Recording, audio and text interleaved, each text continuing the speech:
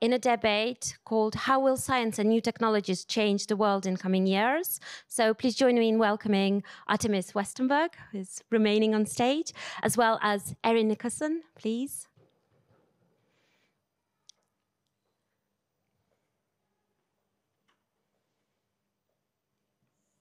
Our very own Dr. Milena Ratajczak as well.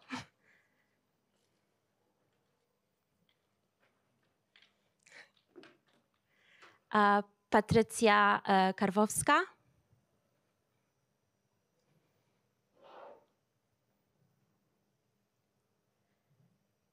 Joining us online are going to be Dr. Adriana Marais and Ilaria Cinelli, and the debate is going to be moderated by Dr. Aleksandra uh, Bukała. Good morning, everyone. Thank you again, Artemis, for excellent keynote. Actually, covered most of the topic that uh, we would like to to discuss uh, uh, today. Um, I uh, I had a little bit of a problem with that uh, with the uh, the topic of this debate because it's very broad, it's very multidimensional, and actually we could speak speak all three days about that without even. Um, uh, fulfilling all the uh, all the aspects.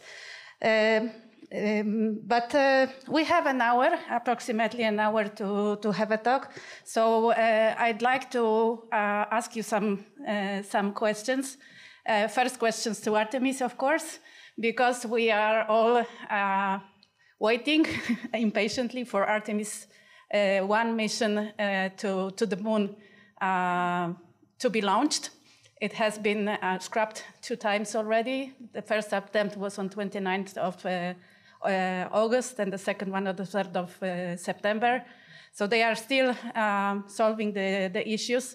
But what I wanted to ask you, Artemis, uh, is that uh, this mission is uh, that there are a lot of hopes about uh, going back to the moon and forward to, to, to Mars. So if we are thinking about changing the world, we know how Apollo changed uh, that technology. We wouldn't have these small devices if it weren't for Apollo. So, what is your opinion about uh, Artemis? Uh, uh do you think it will be so groundbreaking as much as Apollo is? I'm going back to Copernicus now. If we step on Mars, and we we not just go there for some pictures and then you know skadoodle back you know, we're there to do science, exploring. Uh, we stay there for four weeks or 18 months, either one, because it has to do with the orbital mechanics of both, both planets. Otherwise, you travel uh, to Mars for six months. You are there for, I don't know, three weeks. And then you'll go back for 20 months. It's a bit like flying to Sydney for dinner. It's not very efficient. Also, if we're talking health of uh, astronauts uh, flying back for 20 months would be much more a problem than staying on Mars, even if Mars is dangerous and hard to live on. What I believe is if we step there, we've become a two planet species. We have to re evaluate who we are. You know, it, it's, we're no longer, you know, these earth dwellers that are just you know, eking out a existence in Europe at the moment because of the high food prices and high, high energy prices. You know, life is hard, really hard. Um, we will inspire a lot of people like Apollo did. I mean, Apollo inspired people that were living in abject poverty. And if astronauts asked them, why would you be inspired by, by you know, us going to the moon? Your life is so hard. People would say, because it gives hope. It gives hope that there is more, that there isn't just me eking out my existence, that as a humanity we have a future. Now, I do believe that the moment we step on Mars, we see that, you know, we are, we are more than just, you know, these people, you know, fighting each other also on Earth. But also what I believe, if you go to Mars, there are no multinationals there to tell you what to do. Because they're there, but like I said, it's at least three minutes before you hear them scream perhaps even 22 minutes. And then you can always ignore them, pretend you didn't hear. Message not received. What it means, though, because I might be joking about it, it means that people there, perhaps not the first mission, but the later missions, they will forge their own society. And that society We'll need everyone. It doesn't matter whether, you know, on Mars you had a little accident and now you walk with a limp, because we still need your contribution for the simple reason otherwise we die as a group. So suddenly, whether you're male or female, your skin color, your age, you know, cripple or not cripple, will be no longer a defining factor for you as a human, for you as a part of society. And that is, I hope sincerely, that Mars will bring us, and it will teach us here, Earthlings, that hey, society could be different. We could, you know, really appreciate each and every one of us instead of, you know, having all these divisions. And that's what I hope will bring. Like Copernicus brought us another idea of, you know, what, what the role of humans in the universe is. Yes, thank you. Uh, this is also my view on, uh, on that.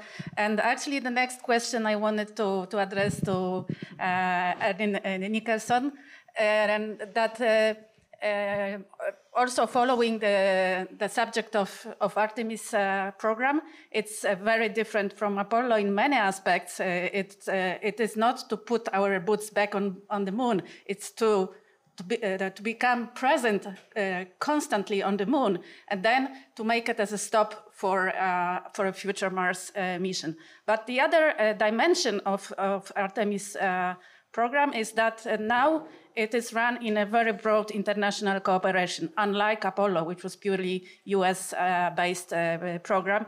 We already have 21 signatories of Artemis Accords, including Poland. And uh, uh, actually, also from my uh, practical experience, NASA is very open and we discuss a lot and we have constant contacts, technical discussions on that. But um, on the other hand, so, so we are going together, but on the other hand, we have a very special uh, international situation, which is a, a, little bit deja vu from the, for the from the Cold War times.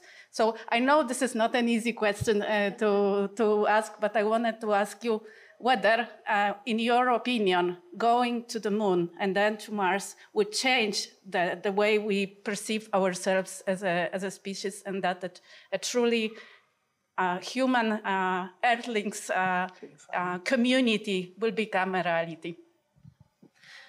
I absolutely hope so. And that's why, you know, as a representative of the United States government, I can say that we're very excited about the um, cooperation that's being done under Artemis. But that didn't just come, obviously, from whole cloth. International space cooperation has a long history of more than 50 years that started, you know, in the 1960s at least, and really as a direct outcropping of some of the political tensions in the Cold War and an attempt to, um, you know, cooperate between peaceable countries on Earth. and if you look at the International Space Station that we've already talked about today, you know, I would say that that is the most successful example of international cooperation in the history of the world. And it didn't just start after the Cold War in 1998. Again, it was decades of cooperation that led up to that in, you know, between the United States, Japan, 11 European countries, Russia, and Canada. And so to see this now, the broadest and most diverse cooperation in history under the new Artemis program is extremely exciting and can only lead to you know a change in the way that we view ourselves. Um, I think what excuse me, will be extremely important, however, is that we have a lot of work to do on cooperation beyond just the Artemis program that will feed directly into that. And that includes international standards that have to be implemented uniformly across the world if we want to have the safe and peaceful use of space including anything ranging from space debris, um, which Dr. Westenberg already talked about, to the safe use of uh, data and protecting privacy for all of humanity. So, thank you. Yes, yes, indeed. Uh, what we are uh, talking to NASA now, they, they call all this bunch of activities Moon to Mars uh, um, initiative, let's say, which Artemis is only a part, and that's true. We are uh, uh, now divided into four working groups on four different subjects, including standards, infrastructure, habitation, transportation, science, uh, which we cannot forget. If I may add, there was one very important pillar that I failed to mention, and we see it right outside, which is that the cooperation is obviously not just between governments, but it's between the private sector, academics, non governmental organizations, and even students that are combining math and science studies with imagination and creativity and making contributions in all kinds of ways. Yeah, uh, for the next speaker, I would like to also re uh, refer to what is happening outside. That uh, and that uh, Artemis already mentioned in the in, in her excellent keynote that we will need uh, human-robot cooperation uh, for having the exploration successful, both on the moon and on the Mars. you are part of the Peraspera project, which is uh, which is meant to create roadmaps for, uh, for the future robotic exploration, which is not only the robots on the planets, but also the orbital uh, robotics, uh, uh, main maintenance, servicing, debris mitigation, and so on. So maybe you could share with us the Peraspera view on the future of robotics developments. Um, I fully agree that the space robotic domain is, is one of the domain with uh, most uh, opportunities for future, with most development opportunities. As you mentioned, the Peraspera Consortium um, is working very hard to try to map all of this wide uh, domain and all of this wide area of uh, space robotic. As well, uh, they are trying to find this critical risk and critical area where we have to do something now and where we have to develop. Um, if we talk about the trends in space robotics, uh, for sure we have to mention the on-orbit servicing. This is one of the main technology which is developing right now all over the world. There's most of the organization in the world, as well as in Europe. We have uh, European Commission as well as European Space Agency, we are, which are currently working on the on-orbit servicing missions. So in future, for sure, we will need autonomous and robotic technologies to allow the servicing of the old satellites which are now on orbits, which will be in future the space debris, and we have to face it and do something with this space uh, debris, and the autonomous and the ro robotic technologies will be crucial for that. Um, but also the trend is um, terrestrial technology, the planetary robotic, because we have the Artemis back to moon mission and also beyond missions. So the trend in future and the need will be also robotic technologies to enable human presence on the moon and also on other planets, um, as well that collecting samples, technologies and also some research for terrestrial researchers technologies. So in space robotics in future, we can expect a lot. And this is the domain when we, the ideas, the new ideas are really uh, needed. So I think we can expect expect unexpected. This is could be a really surprise in future what the robotic could bring to us in future. Thank you. Yes, uh, thank you. Yeah, I, I, fully agree that this is one of the uh, areas which, which, is close to my heart. I, I come from robotics uh, uh background, so so robots are uh, are very close to my heart. And uh, yeah, we will have to solve a lot of problems here and develop a lot of new solutions for the technology itself, but also for the interaction with with humans. And uh, that is now I would like to, uh, to turn uh, into this human aspect of, uh, of the exploration. And uh, I, we have Ilaria Cinelli on, and Adriana on the, on the screens. Okay, maybe this, this way will be better. And um, I would like to ask a first question to Ilaria, a very scientific one. Uh, well, uh, the uh, space is uh, extremely hostile environment for a for a uh, for a human. Uh, there is a radiation, there is no air, there is very cold uh, there, and and so on and so forth. And this is also the truth for both the moon and and Mars, which are very different from from Earth. So, what do you think would be the most important thing that that would enable us to live on the other celestial bodies? Hi, everyone. Thank you so much for the invitation. My name is Ilaria Cinelli. Well, you ask a very hard question indeed. and I don't know if I have the time to answer to all of this, but um, I'll make you, um, sorry, I will, I'm just decreasing the volume of my computer because I hear my back, myself back and forward, which is not really useful to any conversation. um, I think the most important part is to consider and to um, try to not be too much rigid on medical standard in a way to allow several people, you know, with broader performance compared with the population of the current International Astronaut Corps, in a way to, um, you know, expand the knowledge in uh, space medicine. Because right now we know a little bit more about space medicine, and the ISS has provides amazing information to know about human health, which is great but we have very ambitious goal. And so the it is hard, you know, to produce and to anticipate the technology that is needed. Um, uh, for example, in human health on the moon or Mars, if we don't have enough data or enough representation of anything, anything that could happen on those planets. And so if you're going to be a little bit flexible medical standards and we allow a broader population to access space, it would be way easier from a scientific point of view to understand, you know, condition, medical condition, or scenarios that could become a threat to a person. So, um, just building on what you know previous speakers have said, specifically Artemis, um, the the ambitious goal of even establish human presence on Mars, it's it's for humanity. That's why we do that, and there are uh, advantages for aiming to such ambition goals in developing uh, technology that embrace any sort of engineering. But here I'm talking specifically to medicine and healthcare technology. And the reason is, is this one. If we are able to guarantee to enable human to survive in a very hostile environment on another planet, then we can actually make our planet even better.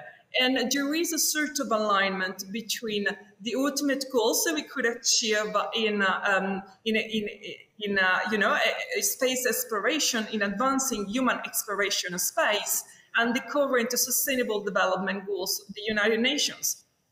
And so we are heading towards different goals because they are, you know, one on Earth, one on space. However, the results could benefit humans regardless of the location where they are. And here is, is the beauty. If we are becoming a little bit flexible medical standards, we could allow even more transfer of space technology and advances of space medicine back to the ground population. Because this, the, the efforts in healthcare are not just for full people they are sent on a, a spacecraft for, for, for, for Mars mission. They are for the ground population. But astronauts right now are people with higher physical and mental performance. And that means that any results that we can take from research might not be directly applicable or representable of the ground population because we have people with diseases. And right now, having a disease is very common, it's very popular. Okay, even mental health can, can be classified as a disease, but this is, you know, there is some limitation in transferability. But I want people on the ground to be healthy, and I want our species to advance in the future, in the future years, even when I'm not going to be there. And I want, to just make sure that there is the base and and then you know the society is aiming towards that goal because anyone on the ground and in space deserve you know access to healthcare deserve quality medical care deserve quality education and we got we got to give them uh, we got to give them all of them because we are in a position for doing that. I don't think the space community and the, the ambition goals of, you know, incoming human exploration activity lead us to reevaluate the principles of our society and so to think differently. But if we do not reevaluate principles, then we can make our society better. and so there are several challenges that are linked to, you know, adapting and to leading to the hostile environments. But one of the first is to recognize that we're human beings and when I uh, when I train in my crew and I expose myself to severe extreme environment, um, you know, you you want you want humans around you. You don't care if they are not your family, if you just met them, if they are from a different nationality, if if they are if could be you know minority in your society. You don't care. You just want the crew. You just want the unity. around yourself because we're human beings. That's what we do.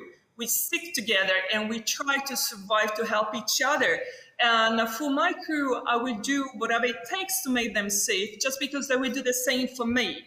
So there is a way, and then there are some aspects of rebuilding and recreating what people could interpret as international societies incur. There are some synergies here, but this is a whole aspect that we got to consider when thinking about, you know, um, uh, increasing the population that could have access to space. So it's not just about medicine, it's about anthropology, it's about philosophy, it's about society. So there are several different aspects. And I think the greatest and the greatest fun, and, here I'm gonna, I'm gonna, I'm gonna, I'm gonna be quiet and after, I promise it. But I think the great fun from a, from a scientific point of view will be whenever we are sending people with diseases in space, people with cancer in space, people with cardiovascular diseases in space. They're of course compatible with the challenges of human space flight, but this is where the fun begins for scientists. Thank you. Thank you. Thank you very much. Now I wanted to, to turn to Adriana Marais. Uh, I know that you are highly involved in uh, uh, analog missions, in uh, preparing ourselves uh, for uh, for a living uh, in in space. I am sailing a bit uh, offshore, do the offshore sailing, and I know how hard it is to survive. Uh, I don't know, 8, 10, 12 people on a very small environment, which is totally separated from the the outside world. So I I would like to ask you about your um, your opinion on, uh, on this, uh, let's say, societal aspect of, uh, of uh, space travels, human space travels for long distances. It takes almost a year to get to Mars. Thank you so much, Aleksandra, and thanks for a brilliant uh, keynote that has set the stage for this discussion, Artemis. So um, let me first say this is a certainly not a boring time we are living in. This is an unprecedented era for humanity. On the one hand, expanding beyond Earth is within reach. Um, on the other hand, we face some of the greatest challenges we've ever faced as a species, whether that's uh, climate change and not unrelatedly the increased prevalence of pandemics, which increases already existing poverty and inequality. And when we couple this with the unpredictable changing climate, um, we cannot uh, deny that we face extreme challenges here on Earth. So I think hand in hand with dealing with these challenges is the role that exploration plays um, in coming up with new solutions. So let me skip back to 1957, which I wasn't uh, alive to, to witness the moment in history, I think, which must transform people's minds to know that there is an artificial satellite in orbit around our planet. But uh, the reason I mention that is the year after Sputnik was launched by the Soviets in, in the late 50s was the first solar powered satellite by the US um, just a year later. So, of course, burning fossil fuel and other kinds of fuel sources are not practical in space. But where would we be today in terms of mitigation of climate change if we had not launched the first solar powered space technology more than 50 years ago? So this is just one example uh, to highlight, I think, how exploration drives new ways of thinking that we often can't predict how they can impact, but later on they do. So I know you're asking about the human element, but let me say I have a background in theoretical physics, um, but I'm now involved in an organization I established called Proudly Human. And we are running the Off-World project in some of the most extreme places on Earth. So while we look at low Earth orbit and Earth orbit and see almost half of all nations on Earth have satellites, either of their own or shared resources um, in orbit around Earth. So in terms of low Earth orbit, we have a fair representation. Like I said, almost half of all countries on Earth um, have some activity in low Earth orbit um, of their own technology. However, the human presence in Earth orbit remains limited to North America, Europe, Japan, and of course China with their recently launched uh, own space station.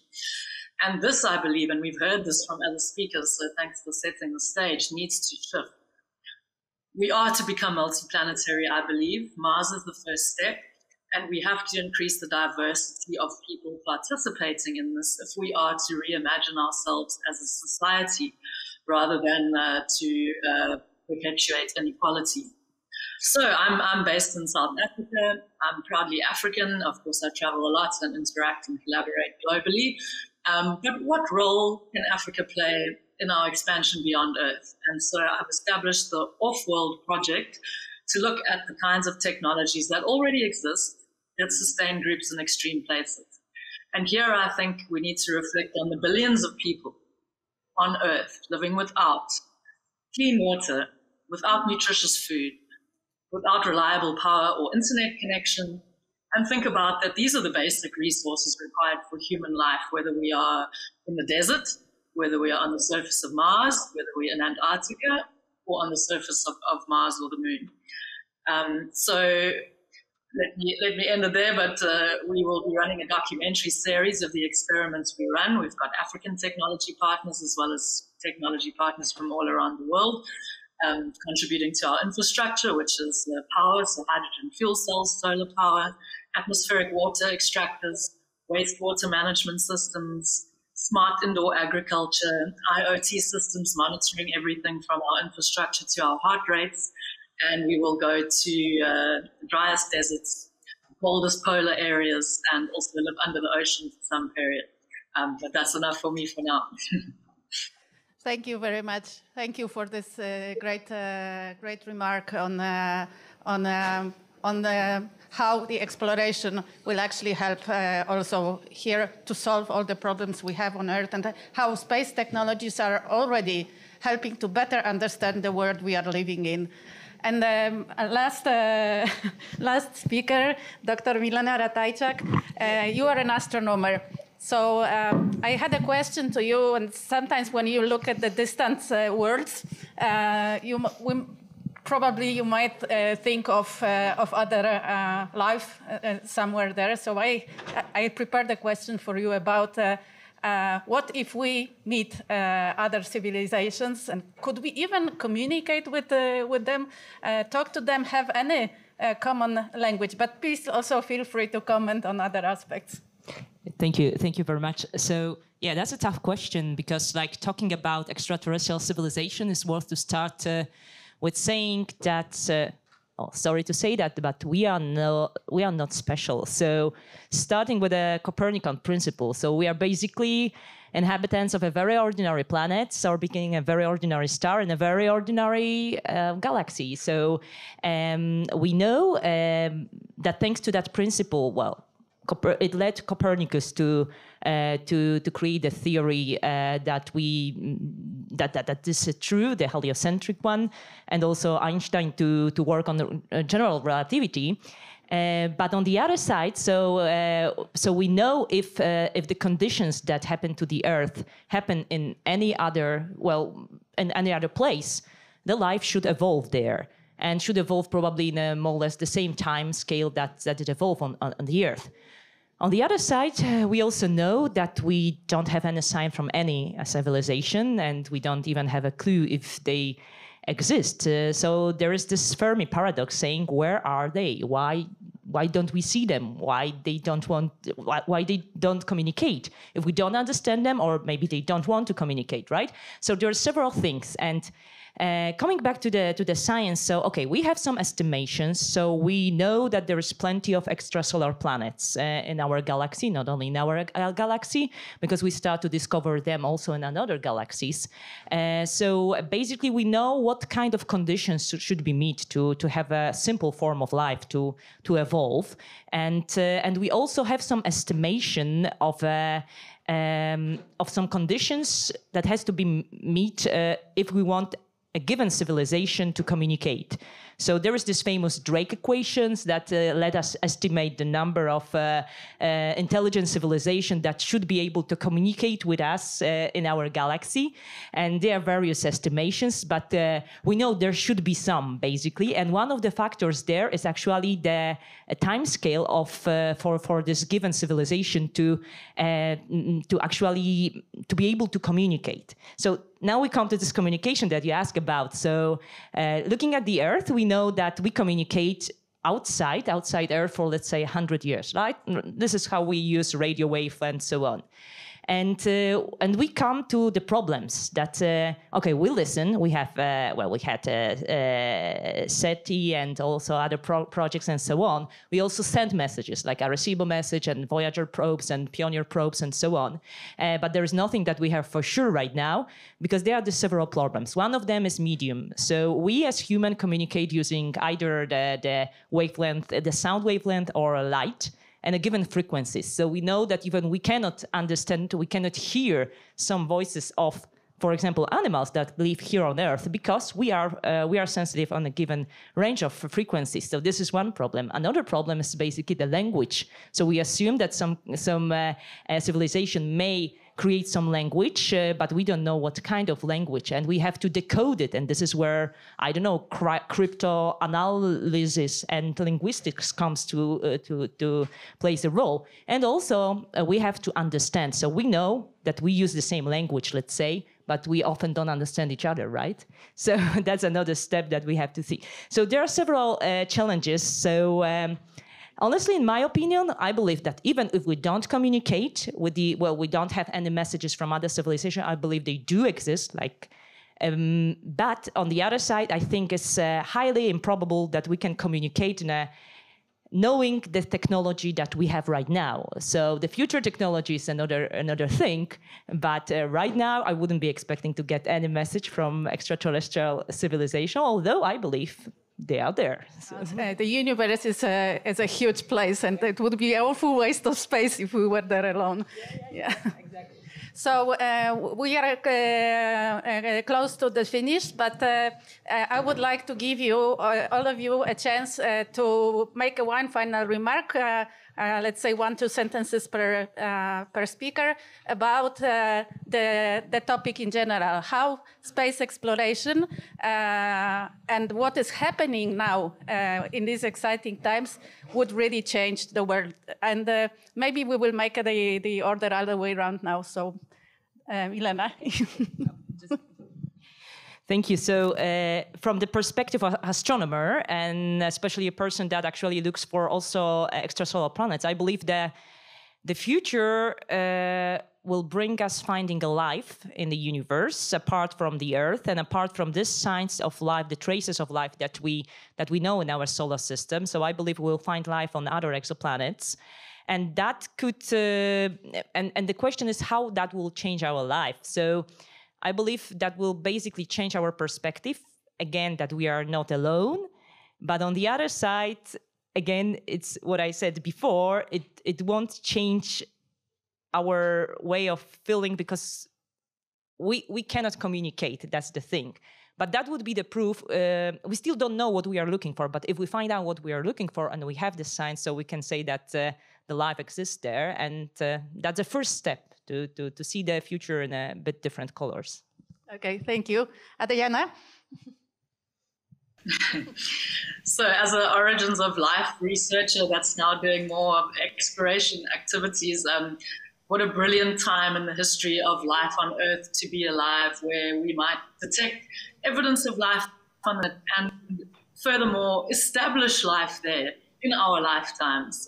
Um, on the other hand, as I've mentioned, we have a lot of challenges. So let me not reiterate those. But if we reflect on what it is to be human, and I think this is an era to do that, um, how do we define ourselves?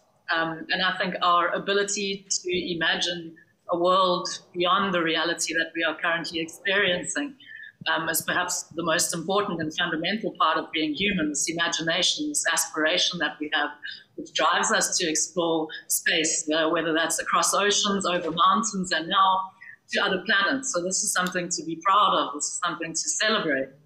But another fundamental aspect of being human, I think, is our compassion, um, our ability to work together, to collaborate, to cooperate.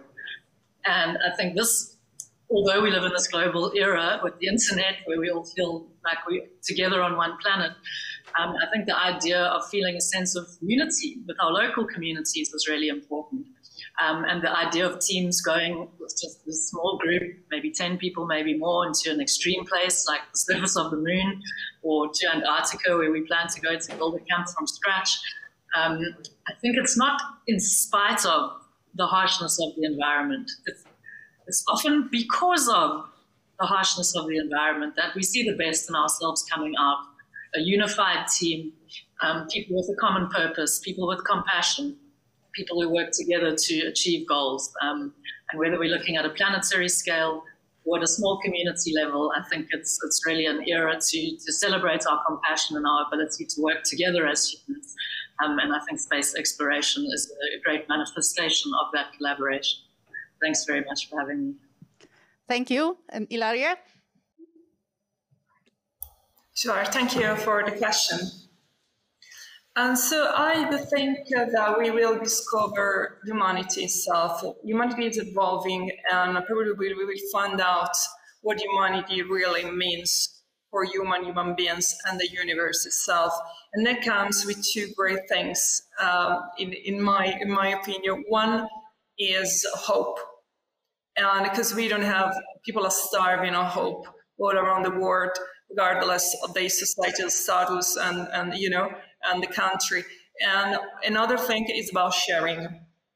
In space, we have to share oxygen, we have to share water, we have to share any sort of resources.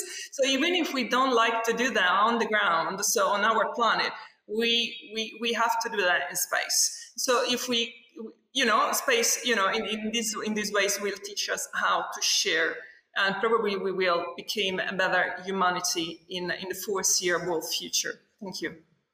Thank you. Patrycja? Um, so, from space robotic perspective, I am quite sure that we will have a plenty of on-orbit servicing mission in future, and we finally face the debris mitigation problem. Uh, I hope there will be a whole market for such a on-orbit servicing, the old satellites, and for sure we will uh, develop the planetary robotic technology and uh, able the human presence on other celestial bodies. And for sure, it will impact on our life on Earth. But how, it will be the surprise for the next years. So we will see. Thank you, Erin.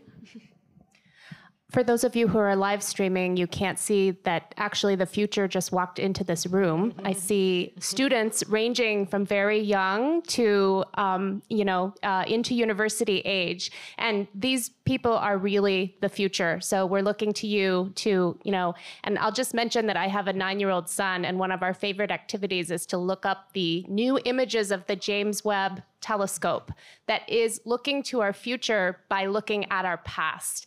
And it is a reminder that we, as we go forward in this space exploration, to recognize how little we know and to understand that we can change the assumptions and the you know knowledge of our entire universe uh, in relation to ourselves in ways that Copernicus did hundreds of years ago. So it's very exciting. I agree. Thank you. And Artemis. Well, to be honest, and hey, all the youth here present, hear me. You are going to make the difference. As a group, yeah. But if you look at what's happening in the last, you know, several years, Greta Thunberg, you know, and Malala, you actually are going to show us what I have believed all my life one person can make a difference and therefore shoot. That's my assignment to you. Thank you very much. Uh, thank you all. It was a, a great discussion. Uh, it's a pity that we have to, to, to finish uh, now, uh, but uh, thank you uh, all again for your participation.